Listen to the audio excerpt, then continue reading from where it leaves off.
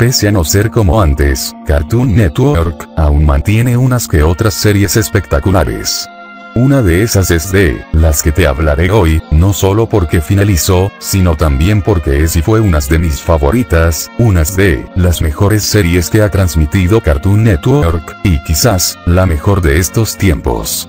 Un show más, una serie un tanto rara, pero que a la vez no lo era, ya que en cierto modo, nos mostraban la vida diaria de las personas, pese a que ellos no lo eran pero hoy hablaremos del final, un final que nos hizo sorprender a muchos, pero sobre todo, nos hizo poner tristes, puesto que Papaleta, un personaje secundario en casi toda la serie, se convirtió en protagonista, ya que libró una épica batalla, en pocas palabras la mejor de todas, las que se ha visto en esta serie, en opinión personal, superando a Salida 9B, e incluso la película pero tuvo un final inesperado, ya que Papaleta toma una decisión, que al final, era la única manera en salvar el universo, y a todos sus amigos ya que se decide sacrificar junto a su hermano, Antipapaleta, con un abrazo logra reducirlo a su tamaño, posterior a eso, se dirigen a la estrella más ardiente, lo bueno de eso, es que Antipapaleta, supo lo que eran los sentimientos, en el cual también abraza a Papaleta, y de esa forma los dos chocan contra el sol, lo que provoca, la muerte de ambos.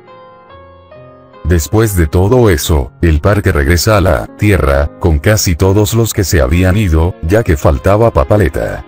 Familiares y amigos, se dirigen a recibir a los miembros del parque, aunque lamentablemente, para el señor Melar fue una gran tristeza. Ya, después de todo lo acontecido, en memoria a Papaleta, se levanta una estatua en su honor.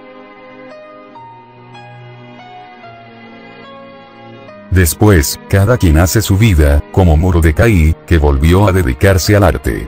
Rigby se seguía dedicando a los videojuegos, aunque ya con su familia formada. Benson seguía trabajando en el parque, pero esta vez con nuevos internos, a excepción de Skip. Musculoso, con una familia también formada. Skip seguía dedicándose a lo suyo. Fantasmano y Celia, como DJs en fiestas. Y lo que nadie se esperaba, ya que muchos querían que Mordecai se quedara, ya sea con CJ, o Margarita. Aunque en lo personal, prefiero que hayan hecho esto, dejando a Mordecai con una vampira desconocida. Al final todos se vuelven a reunir después de 25 años. En el cual también levantan una estatua del señor Melar, junto a la de su hijo Papaleta. Y por último, todos salen en una foto grupal, una gran foto grupal sin duda, en la cual solo queda decir. Gracias por todo. Un show más. Chao.